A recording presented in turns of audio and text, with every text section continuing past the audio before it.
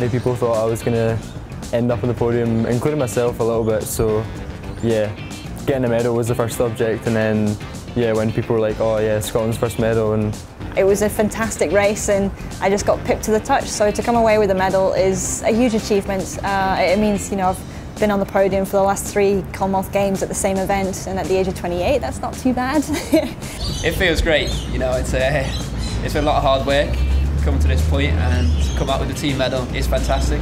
It was uh, it was a big battle, but we all uh, we all pulled through. We all worked hard, and it's great to be here with the medals around the neck.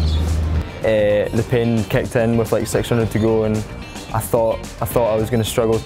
To come away with such a, a big achievement, we have to fight so hard for that for that medal all the way around. Yeah, there's just something about the games where we get to compete as separate nations, not as Great Britain. There's a sense of pride, there's a sense of honour for us as Scots.